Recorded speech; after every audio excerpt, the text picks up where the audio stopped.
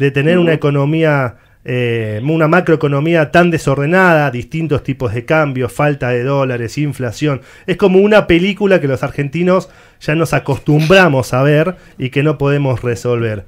Eh, y, este, y ahora un escenario electoral. Eh, ¿Cuál es la película que sigue en los próximos meses de acá fin de, de fin de año? ¿Qué se espera que pase?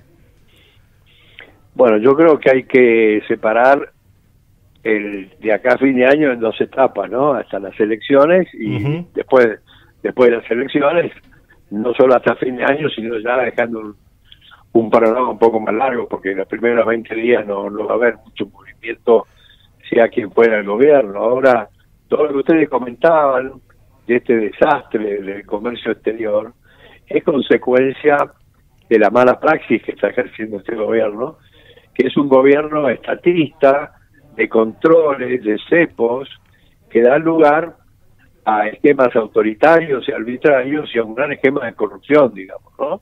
Porque el ejemplo que ustedes mencionaban de los 10 mil dólares, por más que no importa la cifra, lo que sí importa es que una cosa es conseguir el dólar oficial y otra cosa es ir al contado con Ricky o al MEP. Entonces, esto genera todo un esquema de corrupción, porque más de un empresario está dispuesto a pagar una comisión, entre comillas, para que le autoricen el cambio oficial, lo cual es un disparate. Es decir, en el, en el mundo, si uno mira los países que han tenido éxito, existe libertad económica, existe un único tipo de cambio existe facilidad para importar, facilidad para exportar, y entonces eh, la culpa no es del empresario, la culpa es de este gobierno que realmente eh, no se puede recordar eh, una mala praxis de este nivel, ¿no es cierto? Luis, ¿qué tal? Carlos Manzoni, ¿cómo andás? ¿Qué tal, Carlos? ¿Cómo estás? Muy bien, gracias por, por esta conversación. Luis, ¿cuánto daño le causa esto al comercio exterior en, en función de su recuperación. Sí. Le causa un daño enorme porque en este momento en el Banco Central hay deuda del orden de los 20 mil millones de dólares para pagos de importaciones diferidas, digamos, ¿no? Y entonces el, mejor ejemplo de lo que ustedes comentaban de esta pobre señora Pyme. Claro. Porque el daño, el daño que genera decir que voy a pagar el 15 de octubre, creo que era, bueno, no me acuerdo, y entonces decirle ahora que le voy a pagar en noviembre sin ninguna certeza además. Esto genera una incertidumbre que hace que ese exportador en el futuro, y hasta que esto no se normalice, que puede pasar mucho tiempo, y bueno, va, va a pedir que el pago sea antes del embarque. Y bueno, y eso genera una falta de financiamiento tremendo. Claro, te termina apretando mucho más, o sea, complicándote la operación en realidad, cuando sé los números finos y deja, y después a la larga perdés competitividad contra otros en otros lugares del mundo. Ahora no, no tanto a la larga, ¿no? No, no tanto a la, larga, pero bueno, algunos tienen más paciencia, algunos proveedores y demás, una relación pero la paciencia, la paciencia se va acabando cuando se te acaba el flujo de caja, ¿no? Ahora, este, y la confianza que vos tenés en tu importador, digamos, ¿no? Entonces, Hoy vos tenés que importar, ponele, ¿no? ¿Y qué seguridad tenés? Primero, que la, la famosa Siri esta salga. Y segundo, una vez que salga, no tenés seguridad de que la fecha que te dan, como en este ejemplo, se verifique, digamos, ¿no? Entonces, es muy difícil.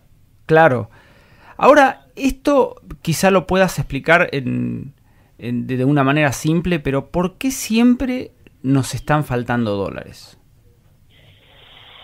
Es una buena, una buena pregunta esa. Están faltando dólares porque este, algunos gobiernos han pretendido, como este, o suponen que el tipo de cambio es un, es un ancha para la inflación y por lo tanto lo fijan, ¿no es cierto? O, lo tienen frenado, entre comillas, mejor ejemplo hoy, a 350 pesos aproximadamente. Sí, sí, sí, está en ese valor desde hace un tiempo.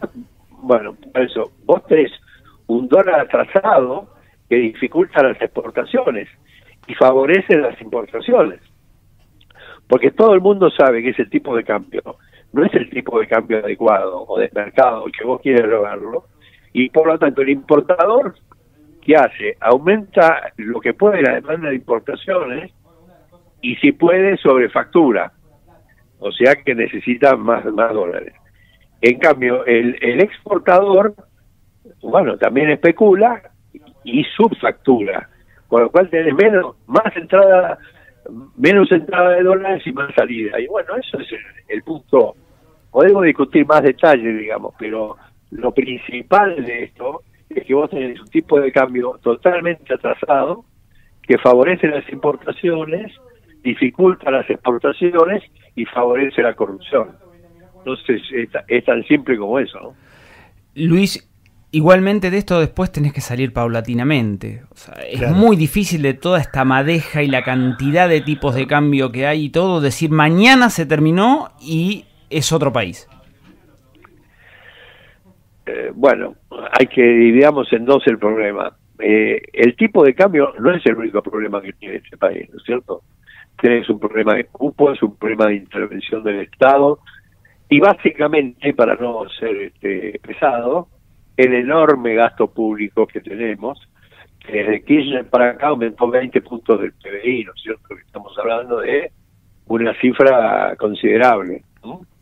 Entonces, eh, yo creo que pensar solamente en el tipo de cambio para salir de este berenjenal no tiene ningún sentido. Esto necesita un plan integral y simultáneo que ataque la totalidad de la multicrisis que tenemos, Carlos, porque esto no se trata solamente de una crisis económica, es una multicrisis económica, financiera, social, previsional, fiscal, política, de conducción, etcétera. Entonces, si vos me decís, no se puede sacar este, este berenjenal los tipos de cambio de un día para otro, y yo te diría que si, si la modificación del tipo de cambio no está encuadrada dentro de un plan de estabilización severo y rápido y me hago cargo de lo que digo y de shock, que eso se contrapone a lo que vos decís de que esto no puede liberarse de un día para otro. Bueno, si no se libera de un día para otro, si, de nuevo, si vos haces un plan integral que, que contemple todas las variables, bueno, lo más probable es que ese plan incluya una liberación del tipo de cambio o de última un tipo de cambio comercial controlado y un tipo de cambio financiero libre. Pero de nuevo, acá la gente en general piensa, no, bueno, vamos a evaluar y devaluando salimos del problema. Si vos lo único que haces es devaluar o ir modificando los tipos de cambio solamente, bueno, yo te aseguro que no sirve para nada y el mejor ejemplo es la última devaluación, ¿no es cierto? Que va a precios al día siguiente. Ahora, si vos haces un plan, insisto, que contemple una modificación del tipo de cambio, una reducción sustancial del gasto público, una adecuación, una normalización de los precios relativos que están, digamos, totalmente algunos atrasados, me refiero a las tarifas, a los alimentos, etcétera. Bueno, entonces vas a tener problemas, digamos. Bien. Luis, la, la última, porque vos hablabas de... Eh, de un montón, enumeraste un montón de, de, origen de este problema, pero nunca dijiste alusión a la confianza. Vos sabés que em, hace un ratito Carlos Manzoni, Carlitos decía, eh, bueno, ¿por qué el argentino ahorra en dólares? ¿no? Y yo tengo 37 años. Viví el sufrimiento de mi mamá y mi papá con, cuando pasó el 2001. Viví el sufrimiento de mi hermano Daniel cuando eh, el banco se quedó con sus ahorros. Desde ahí yo creo que hubo un quiebre muy grande y después si vas más para atrás, generaciones anteriores vivieron la hiperinflación de Alfonsín. ¿Cómo se hace, cómo hace un país como Argentina para generar confianza? Porque hay un montón de dólares debajo del colchón de argentinos que ahorran en dólares, que podrían poner, como nos dice Marcelo Salas Martínez, una franquicia de Café Martínez eh, con sus propios ahorros para poner un emprendimiento o un negocio, pero no creen ni en el país ni en la moneda. Mm. Mira, lo fundamental para que este plan que yo insisto de estabilidad, primero estabilidad y después crecimiento, porque sin estabilidad no hay crecimiento posible, y entonces te pasa esto de tener una situación de recesión con alta inflación, que es peligrosísimo. Pero eh, la pregunta es, ¿qué es fundamental, además de un plan técnicamente viable? Que la gente tenga confianza y sobre todo certidumbre. la gente, ¿por qué ahorra en dólares? Porque el peso no existe como moneda. Ya ha pasado todos estos avatares que vos mencionás y sos muy joven, pero hay otros momentos de la historia argentina que han sido descalabro. Se han agregado 18 ceros a la moneda argentina en los últimos 80 años. Entonces, ¿cómo querés que esto sea una moneda, una divisa para que sea considerada moneda? La característica fundamental que ha de tener es que sea un instrumento de ahorro y nadie quiere ahorrar en dólares, en pesos. ¿Por qué? Porque sabe que la inflación lo va a matar. Entonces, como no quiere pesos, toda esta visión increíble que está haciendo el irresponsable de Masta con este plan que todos los días anuncia más liberación de dinero. Bueno, ese dinero en un país normal se ahorra o se invierte. Acá lo que hace la gente sale corriendo a comprar dólares, bananas, autos o lo que fuera para preservar su ahorro. Entonces, la respuesta es, sin confianza no hay plan que valga sin moneda tampoco hay plan que valga.